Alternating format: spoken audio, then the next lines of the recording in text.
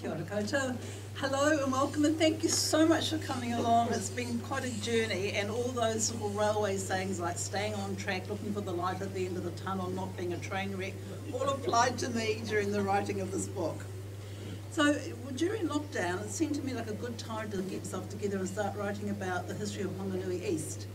And as I was trawling through the thousands and thousands of um, references and old newspapers, I kept coming across the East Town workshops, so I started making notes. And then by the time I'd finished writing notes, I had 50 pages worth of stuff about East Town workshops, and I'd become absolutely fascinated by it. And I thought, gosh, this is too much to put in a book on Whanganui East. I really need to write a book about it which was, you know, thinking back on it a little bit stupid, I know anything about railways. um, nothing at all, other than that a train consists of a locomotive and carriages or wagons behind it. So it's always been um, my idea to put money back into the community that supported me over the years, all the books that I've written. And I wrote one a few years ago on Waipipi Iron Sands, about which I knew nothing, and it turned out okay. So I thought, well, we'll give it a crack. We'll give it a crack for East Town Railways workshops.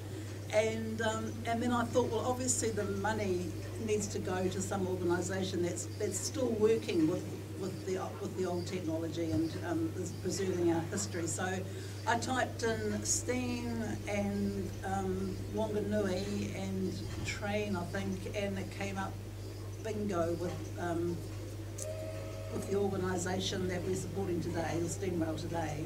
And I thought, well, it must be meant to be then. So I'm not quite sure whether I emailed them or I can't remember how I got in touch, but anyway, I rocked down there one day to pitch them the idea about publishing this book and them having the profits. And you know, I guess if some old bird rocked up to my business and wanted to write a book about something that I was an expert on, I'd look at them kind of a little sideways, but they didn't. They were just so accepting and so wonderful and so warm and so supportive.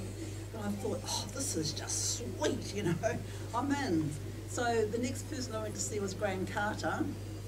And when I explained to him that I was writing this book as a fundraiser, I did see a little flicker of fear shoot across his eyes, which he concealed very quickly. And I said to him, and of course, for it to be any good, you'd have to ask you to help me, Graham. And he said he would, and he did all the proofreading for me from the perspective of the railway history. And, and gave me stuff from his collections as well. And just having his name behind me opened a lot of doors, so I'm very grateful. So um, Graham became my railways histories man. And then many years ago, Alex Bowmanis had given me his father's story to read or to look at, I can't remember why. And I, in it, he'd written about working at the workshops, and I didn't know anybody who worked at the workshops, and I used to work with Alex, so I thought, oh, well, I'll contact Alex. And it's just so lucky. For every book I write, there's always somebody who is the keeper of the past and the collect all the articles and all the references and all the photographs that they can. And in this case, it was Gunnar's Bowmanis. So, so grateful for that because it filled in a lot of gaps that, uh, that people either didn't know or couldn't remember. And then I would ring up Alex and I'd go, it's Laraine. He'd go, hello, Laraine. And I'd be thinking he's probably going, oh my God, it's her again. but it's so sweet. It's so nice. And um, and then I actually galvanised him into not only writing bits for me, but to make contact with people and get their stories as well. And so much of the history from the 1970s on, you've got really courtesy of the Bowmanis family. And then there was Hamish um, from Steam Rail Wanganui, who sort of took on, he's our guard today, looking very sharp wherever he is. Look behind you. You've got to watch these railways, people. Um, doesn't he look great though? Yeah, takes you right back to the day. Um, he, he became sort of the, the liaison person between Steam Rail and myself and was really, really, really helpful and came up with the idea of collecting um, some interesting little funny stories, which I ended up making into a chapter. It was a great idea. And it's quite a lonely job being a writer, and often I write at night because it's really quiet. And I'd get stuck on something and I would just Facebook him and he'd say, I'll get back to you and he'd send it around the troops and it would come back to me in about 15 minutes and I felt really supported throughout that. So thank you very much, Hamish, for, for all of the work that you did. So Hamish really became my, my wingman. And then, of course, there's Lindley Fowler, who's sitting down there with a mask on, looking very modest. But I could not write books without Lindley because she's my proofreader. So I have um, Graham for all the railway stuff, I have Alex for all the workshop stuff, and Lindley for you better write it properly stuff. So um, thank you for being here today, Lindley, and for your continued support, which has been really, really amazing. So the um, I've done the book in 20-year blocks. They, they take the centennial from 1880 when New Zealand Railways was formed, but actually there was work on site for a few years before that well, with engines that were working on the main rail tracks through to Turakina. Um, so it's a little bit older than, than people think it is. And the actual rail shop, railway workshops has had a very interesting history because they started off in the middle of a depression in New Zealand in the 1880s. So it didn't really pick up steam probably till about the 1900s and just got going and then World War One came along and we've got the lovely um, display board up there, the people who went to the to the war from the workshops there. And um, and then after the war, there was the, the flu epidemic, and then there was the 1921-22 depression, so things weren't so good. And then they just got on their feet again. And in 1925, the Fay Raven report came out, which is something that really changed the face of railways and not in a good way and had a terrible impact on East Town workshops because it virtually drove them to their knees. And then we had the Depression, and then after the Depression, things really picked up, and then World War II came along, and they had to manpower people in to take the place of men that had gone to the war. And in fact, railways um, even used to challenge the fact that their men had to go to the war because they were an essential industry.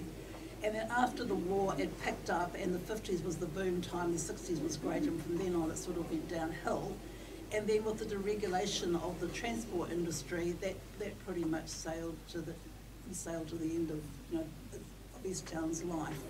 So it's really interesting reading, and I know that people will probably just want to look at the pictures, but if you do read about it, there's some really, really interesting stuff and some really interesting stories and a few scandals. Thing that I found really disconcerting was that I couldn't actually walk around East Town and see it how it was on this day. I had to try to visualise it in my head. And it wasn't until I went down there and stood beside one of the buildings and thought, my gosh, this is enormous.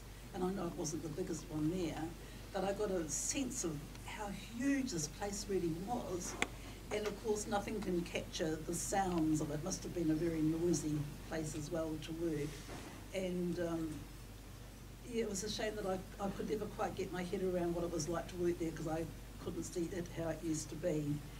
But I did go down and have a ride on a jigger just to get the railway experience. And from time to time, I walk along the railway tracks looking for the fillings that fell out.